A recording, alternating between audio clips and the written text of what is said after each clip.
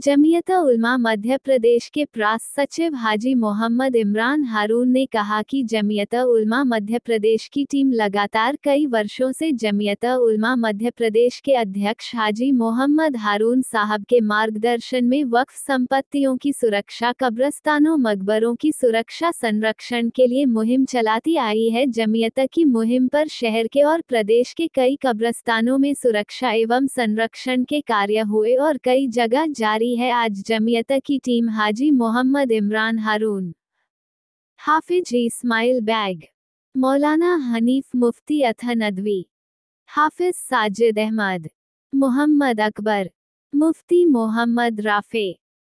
आदि टीम ने मगबरा शाहजहां बेगम पर पहुंचकर मगबरे को व्यवस्थित करने की मांग की। इस मौके पर हाजी इमरान ने सभी जिम्मेदारों से मगबरा शाहजहां बेगम को दुरुस्त करने की मांग की, जो अनदेखी के चलते तेज़ी के साथ असामाजिक तत्वों, नशेड़ियों का अड्डा बना हुआ है। मगबरा शाहजहां बेगम पूरी तरह अंधेरे में डूबा हुआ है। बाउंड्री वाल सुरक्षा के दरवाजे पूरी तरह टूट चुके हैं, जिसकी और किसी भी विभाग का कोई ध्यान नहीं। जन प्रतिनिधि वक्फ बोर्ड औकाफ शाही और इनके वारिस सब आँख मूंदे हुए हैं। मगबरे की सुरक्षा और संरक्षण की और कोई ध्यान नहीं, जबकि जमीयत की टीम वर्षों से मगबरे के संरक्षण की मांग करती आ रही है और टीम खुद भी मगबरे के संरक्षण के लिए प्रयास करती आ रही है। वहीं हाफिज इस्माइल ने कहा कि मकबरों कब्रस्तानों में परेशानी सबसे ज़्यादा बारिश के समय होती है। कई कब्रस्तानों में पानी भरा जाता है और कई कब्रस्तानों में छड़ियाँ उग जाती है। है, रास्तों में कीचड़ हो जाता है, जिससे अंतिम यात्रा के बड़ी परेशानियों का सामना मुस्लिम समाज को करना पड़ता है, जिसकी और वक्फ बोर्ड और कब्रस्तानों की सुरक्षा समितियाँ ध्यान नहीं दे पा रही, जिसकी और कई बार ध्यान आकर्षित।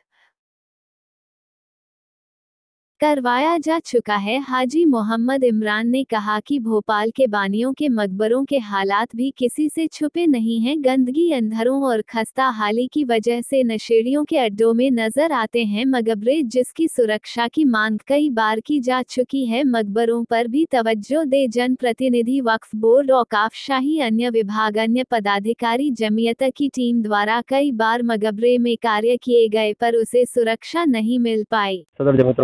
भोपाल सर आज यहाँ पहुँचे हैं क्या मामले लेकर पहुँचे?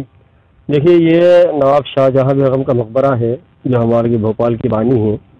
और आज आपने हालात देखे यहाँ के। जमीतुलमा मध्य प्रदेश अपने सदर हिदायत पर।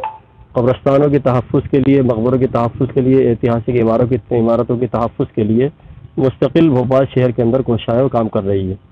उसी के अंदर ये शाहजहाँ बेगम का मकबरा भी है। बड़ा खस्ता हाल है आप लोगों ने देखा इसको।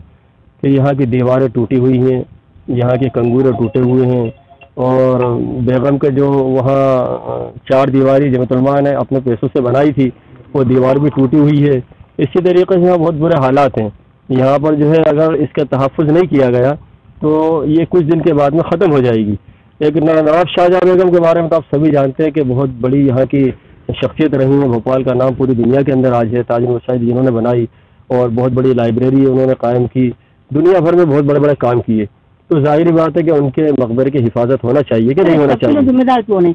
इस सब के लिए जिम्मेदार कुछ हद तक के तो आवाम भी है और बाकी जो है वो इसके जिम्मेदार है शाही औकात भी इसका जिम्मेदार है वक्त बोर्ड भी इसका जिम्मेदार है। उन सबको मिलकर इसका तहफ़ करना चाहिए और इस जैसे जितने भी शहर के अंदर सबको तहफ़ करना चाहिए। थैंक यू सर आज जो हालात देखने को मिल रहे हैं जो पुरानी प्राचीन इमारतें हैं उनकी दयनीय स्थिति हो रही है ना ध्यान दे रही न बब बोर्ड ध्यान दे रहा, न कोई विधायक, न कोई पार्षद। न कोई सरकार।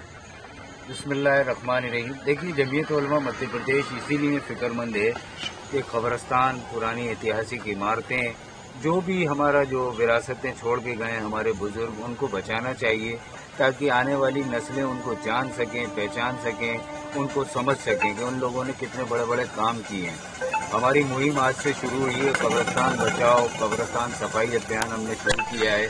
आज हम नवाब शाहजहां बेगम के मकबरे पे पहुँचे हैं। यहाँ हमने साफ़ सफ़ाई का नज्म देखा। पूरी तरह खस्ता हाल हो रहा है। ये मकबरा हमारे ज़रिए पिछली बार जब हमने सफ़ाई अभियान चलाया था तो यहाँ बहुत काम किए गए थे।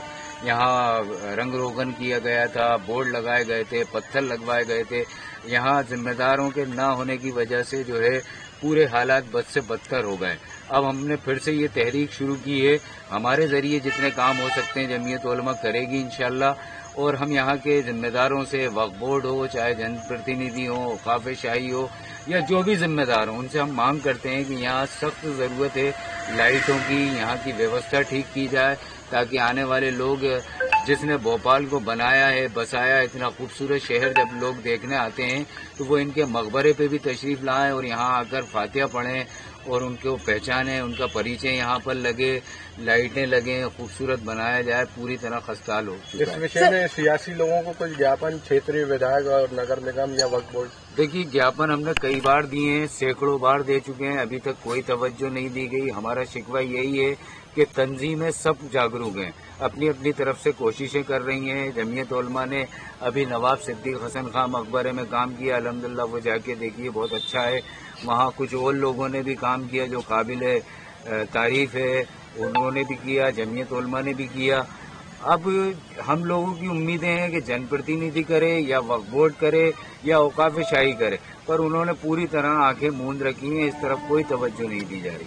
से पूरी ज़िम्मेदारी बब बोर्ड की बनती है कि इस प्रकार जो इमारतें पुरानी प्राचीन है इनका सौंदर्यकरण करके पर्यटन स्थल घोषित करने का काम बब बोर्ड के पास है। आखिर ऊपर क्यों नहीं इस कदम उठा पा रहा? देखिए जिस हुकूमत में वक्फ बोर्ड की ज़िम्मेदारी 2018 से अब बिठाए गए हैं और चंद महीने चुनाव के बचे हैं।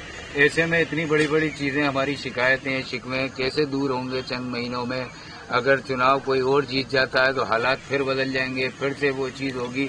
हमारी ये मांग है कि ऐसे प्रावधान होना चाहिए कि चाहे उसमें जिम्मेदार हों या नहीं हों वक्फ बोर्ड के ज़रिए तमाम कौम की फलाह और बहबूद के काम चलते रहना चाहिए जिम्मेदारों का इंतज़ार नहीं करना चाहिए। सर मध्य प्रदेश सरकार के दोहरा चेहरा नज़र नहीं आ जब मंदिरों पे काम कर रही है और इस प्रकार की जो प्राचीन जो धरा वो है सुंदरता ये इस विषय में मैं कुछ नहीं कहूँगा हम अपनी बात रखेंगे और अपनी बात रखने के लिए आज इकट्ठे हुए हैं और हमने अपनी बात रखी।